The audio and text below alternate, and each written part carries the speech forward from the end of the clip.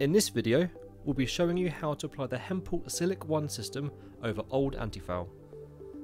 Silic 1 is a biocide-free solution based on silicon and hydrogel, which gives the coating surface water-like properties, making it difficult for fouling to attach to the hull and easy for them to slide off when the boat is in motion.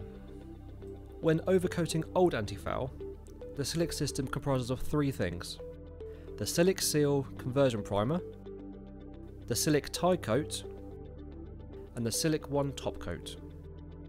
You need one coat of the Silic Seal Conversion Primer, then one coat of the Silic Tie Coat, and then you'll need two coats of the Silic 1 Top Coat. Please note that you cannot use thinners in any of the Silic 1 products. Tools that you will need. Paint roller and tray, brush, masking tape, wide paint stirrer, sandpaper or electric sander, PPE. It's actually vital to ensure that you're wearing the correct PPE when you're doing any painting uh, job. That includes mask, goggles or safety specs.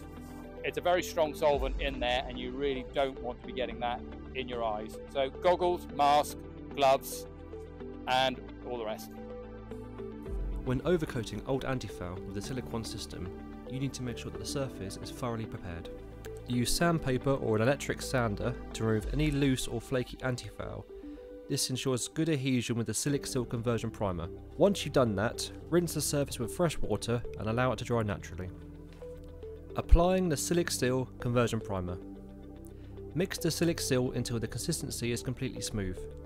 It starts out quite lumpy to begin with. Then mix the curing agent into the Silic Seal Conversion Primer thoroughly to an even consistency. Then apply to the hull as you would any normal paint. Keep in mind though that this product has low viscosity and any runs and sags should be brushed out immediately. The pot life at 20 degrees Celsius is 8 hours. The minimum application temperature is 5 degrees Celsius.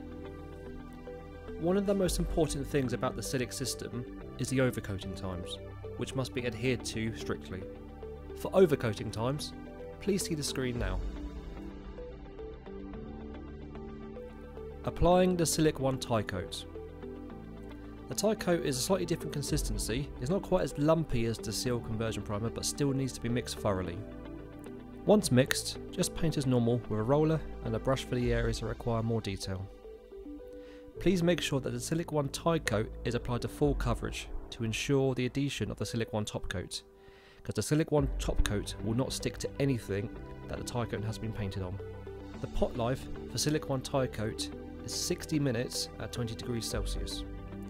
The minimum temperature for application and curing is 10 degrees Celsius. For overcoating times, please see the screen now.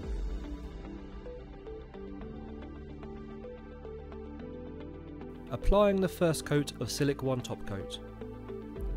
Like the other products, mix the Silic 1 top coat well, then apply like you would any normal top coat anti-foul paint. Once you've completed the first coat, you must wait before it can be overcoated with the second. For overcoating times, please see the screen now. There is no maximum time to overcoat the Silic 1 top coat. However, if it has been more than 48 hours, the surface must be cleaned with a suitable detergent, rinsed with fresh water, and allowed to dry before applying the second coat.